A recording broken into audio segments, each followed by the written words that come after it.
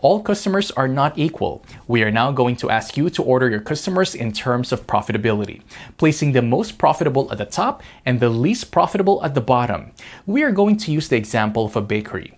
This bakery has corporate clients, shopping center customers, online shoppers, and caterers.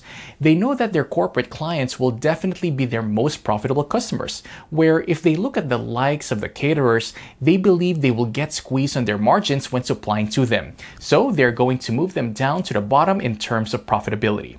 So go now and make your decision about what customers are most profitable for your business.